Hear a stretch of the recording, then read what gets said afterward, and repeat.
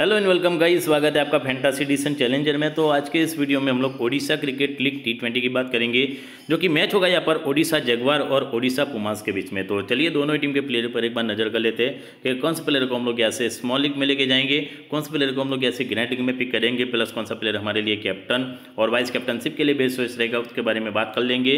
Pitch report देख लेते एक बार लास्ट में हमारी फैंटासी टीम भी देख लेते कि कौन से प्लेयर को हमें लेके जाना है और कौन से प्लेयर को हम लोग ऐसे ड्रॉप कर सकते हैं। सारी डिटेल्स इसी वीडियो में करेंगे। तो चलिए फिर बिना किसी देरी के वीडियो को स्टार्ट कर लेते हैं। तो बात करें इस मैच की, इससे पहले एक छोटी सी रिक्वेस्ट रहेगी कि यूट्यूब चैनल को अभी तक आपने सब्सक्राइब नहीं किया तो सबसे पहले यूट्यूब चैनल को सब्सक्राइब कर लेना है, क्योंकि ये पूरी टूर्नामेंट हम लोग इसी यूट्यूब चैनल के ऊपर कवर करेंगे। इसके साथ साथ यहाँ से आपको एशिया वुमेन टी ट्वेंटी के वीडियोज़ मिलेंगे, साथ ही में यहाँ पर आपको Ajman T ten Bukhatir T twenty और भी कई सारी टूर्नामेंट चल रही है। सारे अच्छे मैचेस के वीडियो आपको इसी यूट्यूब चैनल के ऊपर मिलने वाले हैं। तो यूट्यूब चैनल को सबसे पहले आपको सब्सक्राइब करना है। साथ ही में टेलीग्राम चैनल से भी जुड़ जाएगा क्योंकि इस मैच की और आगे भी आने वाली जितनी मैचेस रहेगी, सारे अच्छे मैचेस की फाइनल अपडेट फाइनल मेरी स्मॉल लीग की ग्रैंड लीग की, जो भी टीम रहेगी, वो आपको टेलीग्राम चैनल पर मिलेंगी। और टेलीग्राम से जुड़ने के लिए मैंने नीचे डिस्क्रिप्शन बॉक्स में टेलीग्राम चैनल का लिंक अटैच किया हुआ है और आप लोग को उसी लिंक से जाकर टेलीग्राम चैनल को ज्वाइन कर लेना है। बात करते हैं इस मैच की। तो ये मैच दोपहर में एक बजकर तीस मिनट पर ट्राइम्स ग्राउंड कटक में खेला जाएगा। पिच रिपोर्ट की बात करते हैं तो पिच रिपोर्ट यहाँ पर न्यूट्रल और बैलेंस है। हालाँकि यहाँ पर रन्स की बात करो तो रन्स ज़बरदस्त बनते हैं।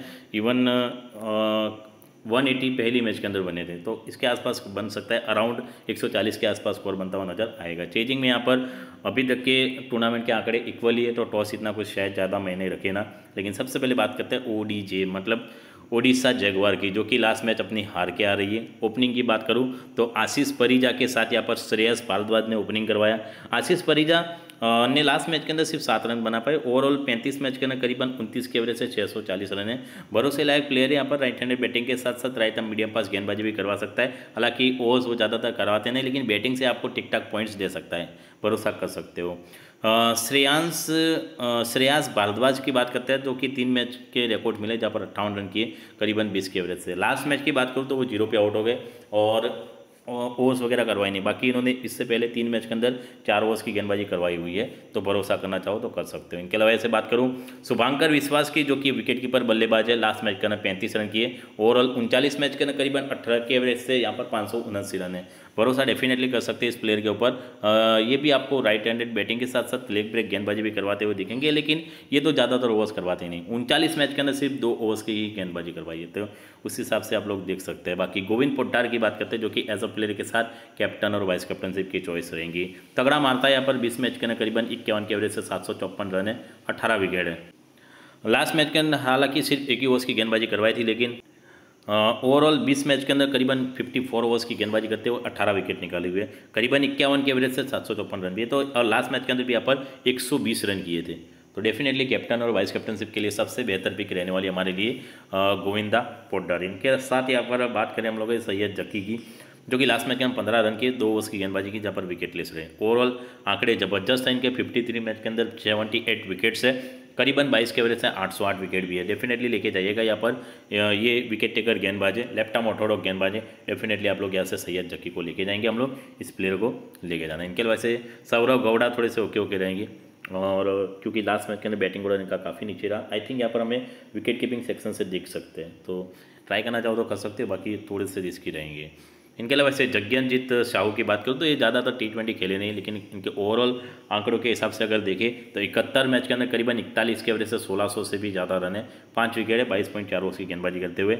लास्ट मैच का इन, इनका बैटिंग ऑर्डर काफ़ी नीचे रहा। हो सकता है कभी इनको बैटिंग से ऊपर भेजा जा सकता है लेकिन अभी के लिए मैं थोड़ा सा रिस्की मानता हूँ। आप लोग चाहो तो रिस्क ले सकते हैं। इनके अलावा वैसे वगीश शर्मा की बात करूँ तो एक सौ उनचास मैच के अंदर करीबन 35 के एवरेज से 3,400 से भी ज़्यादा रन है करीब करीब पैंतीस सौ रन है। तो भरोसा कर सकते हैं अपन। वैसे भी लास्ट मैच के अंदर दो ओवर्स की गेंदबाजी करवाई थी और वो एक सौ उनचास मैच के अंदर एक सौ इक्कीस विकेट भी है। तो दो हमारे लिए ट्रंप कार्ड है, एक यहाँ पर सैयद जकी और एक यहाँ से वगीश शर्मा और दोनों को ही हम लोग एज अ प्लेयर लेके जाएँगे। बाकी प्रशांत ठाकुर भी लास्ट मैच के अंदर विकेट लेस रहे थे ओवरऑल उनचालीस मैच के अंदर चौपन विकेट है, करीबन सत्रह के एवरेज से एक सौ चौरासी रन है। ट्राई करना चाहो तो कर सकते हो। और बात करो सुनील राहुल राहुल की, जो कि यहाँ पर पैंतीस मैच के अंदर चौवालीस विकेट है राइट आर्म फास्ट गेंदबाज है। और पप्पू रॉय की बात करो तो वेरी इंपॉर्टेंट पिक रहेगा। लास्ट मैच के अंदर भी तीन विकेट निकाली। ओवरऑल चौबीस मैच के अंदर करीबन पचास विकेट निकाले इन्होंने इक्यान इक्यानवे पॉइंट चार ओवर्स की गेंदबाजी करते हुए। सौभाग्य, राउत ने लास्ट मैच के अंदर दो विकेट निकाली। और, यहाँ से देखो बॉलिंग सेक्शन में बहुत सारे ऑप्शंस हैं। और रिस्क लेना चाहो तो यहाँ पर आप लोग वगीश शर्मा और प्रशांत ठाकुर को लेके जाइएगा या फिर सुनील राहुल को भी ले सकते हैं। सेफ़ जा रहे तो यहाँ पर ये दोनों ऑप्शन है, दोनों को लेके जा सकते हैं। स्टार्टिंग में यहाँ पर एस राहुल के साथ पी रोए डेथ ओवर्स में यहाँ पर एस राउत के साथ पी रोए देखो, राहुल और राउत में फ़र्क है, देख लेना। बेंच में से कोई भी प्लेयर खेलता है तो इनके स्टैट्स अपडेट वगैरह टेलीग्राम में मिलेंगे आपको। तो जल्दी से जाके टेलीग्राम चैनल को ज्वाइन कर लेना। लिंक नीचे डिस्क्रिप्शन में दिया हुआ है। उड़ीसा पुमा की बात करते हैं, जो कि एक मैच खेली और जीत के आ रही है। ओपनिंग की बात करते हैं तो स्वस्तिक शमल के साथ यहाँ पर देवाशीष, अशोक सामंत सामंतरी ने लास्ट मैच के अंदर ओपनिंग करवाया। इंपोर्टेंस की बात करो तो दोनों ही इंपोर्टेंस रहेंगे। काफ़ी अच्छे बल्लेबाज है दोनों ही। सत्विक शमल की बात करो तो वैसे ये वन डाउन आते हैं, लेकिन लास्ट मैच के अंदर ओपनिंग करवाया ओवरऑल फिफ्टी सेवन मैच के अंदर करीबन छत्तीस के एवरेज से उन्नीस रन है। और देवाशीष, अशोक सामंतरी की बात करो तो इनका भी यहाँ पर अट्ठाईस मैच के अंदर करीबन तीस के एवरेज से पाँच रन है। दोनों को ही आप लोग चाहो तो ट्राई कर सकते हैं। अभी देखो सईदीप मोहपत्रा की बात करें तो इनके ओवरऑल आंकड़े काफ़ी अच्छे हैं। सिक्सटी एट मैच के करीबन सुड़तालीस के एवरेज से चौबीस से ज़्यादा रन थे, नब्बे विकेट हैं, तीन सौ चालीस पॉइंट तीन ओवर्स की गेंदबाजी करते हुए। लेकिन टी ट्वेंटी की बात करें तो इससे पहले, इस टूर्नामेंट से पहले इन्होंने सिर्फ़ दो मैच खेले थे, जहाँ पर इन्होंने उन्नीस रन किए थे। लेकिन लास्ट मैच के ना उनचालीस रन की एक अच्छी पारी के लिए तो आप ट्राई करना चाहो तो कर सकते हो। राकेश पट्टनायक इंपॉर्टेंस रहेंगे क्योंकि ये चौथे नंबर पर खेलने आए। ओवरऑल सिक्सटी सेवन मैच के करीबन सत्ताईस के एवरेज से चौदह सौ तीस रन है, अड़तीस विकेट निकाले। उन्होंने एक सौ सात पॉइंट तीन ओवर्स की गेंदबाजी करते हुए। बैटिंग से ठीक ठाक रहेंगे, लेकिन बॉलिंग से आपको एडवांटेज दे सकते हैं। रेगुलर तो ट्राई करना चाहो तो कर सकते हैं। इनके अलावा वैसे सुशील बारिक, जो कि 22 मैच के अंदर तेईस विकेट है। लास्ट मैच के अंदर विकेट लेस रहा, लेकिन तीन ओवर्स की गेंदबाजी पूरी करवाई थी। लेफ़्ट आर्म ऑर्थोडॉक गेंदबाज है रिस्क लेना चाहो तो ले सकते हैं। और बात करें हम लोग ऐसे विक्रम समल की, जो कि सड़तीस मैच के करीबन उन्नीस के एवरेज से चार सौ इक्यानवे रन है। लेकिन बैटिंग ऑर्डर थोड़ा सा नीचे रहा था। मुझे थोड़े से रिस्की लग रहे तो मैं शायद इनको, इनके साथ ना जाऊँ। जैसे पंकज सेनापति भी बहुत ज़्यादा रिस्की रहेंगे। आप लोग चाहो तो यहाँ पर इन दोनों में से किसी एक को ट्राई कर सकते हो, क्योंकि दोनों ही यहाँ पर छठे सातवें नंबर पर खेले थे। जहाँ पर पंकज सेनापति ने कोई खास रन नहीं किया लेकिन ओवरऑल आंकड़े अच्छे। तो ट्राई करना चाहो तो दोनों में से किसी एक को ट्राई करोगे।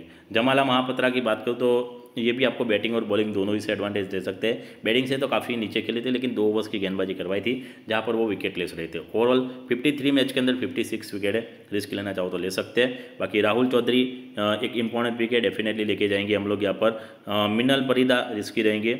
और बात करें हम लोग यहाँ पर निरंजन गौड़ा की, जो कि लास्ट मैच के अंदर दो ही ओवर्स की गेंदबाजी करवाई। राइट आर्म मीडियम पास गेंदबाजी ओवरऑल फोर्टी सेवन मैच के अंदर फिफ्टी टू विकेट है। रिस्क लेना चाहो तो ले सकते हैं, बाकी अंशुमन बेज रिस्की रहेंगे।